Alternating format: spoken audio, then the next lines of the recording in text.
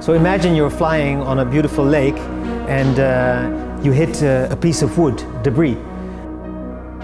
To ensure a soft landing in the case of hitting debris, we have developed a collision impact safety system, CISS we call it.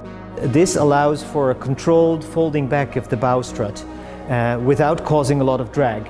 Because if you have a lot of drag in the bow, it will cause a nosedive, which is of course very dangerous, especially if you're going fast.